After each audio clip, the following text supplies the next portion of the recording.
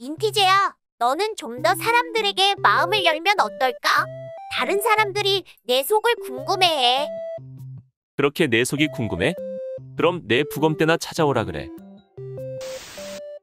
넌 가장 좋아하는 색깔이 뭐야? 미안하지만 난 시시하거나 의미 없는 잡담 같은 건 싫어해. 알았어. 그러면 너는 너 자신이 좋은 사람이라고 생각해? 너의 진심 어린 속마음을 듣고 싶어. 파랑. 아무튼 난 애정 결핍이 아니라고. 응? 맞지? 크크. 너 전에 우리가 아직 친구인지 확인해 보겠다고 나한테 새벽 3시에 전화했었지? 크크. 아, 그건 말할 때마다 언제나 부탁해와 고마워는 잊지 말기. 제발 그 오글거리는 입 좀 닥쳐주길 부탁할게. 고마워. 뭐 그 뜻은 아니지만 그래도 나름 진전이 있긴 하네. 크크.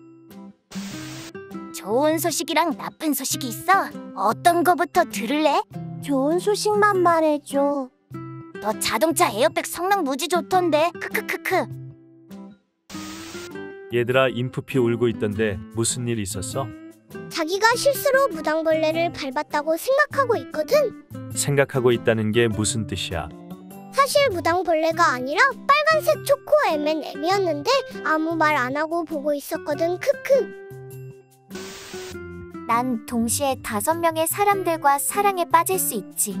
난 하루에 최소 다섯 번은 눈치 보는데. 크크. 난 내가 실패할까봐 두려워.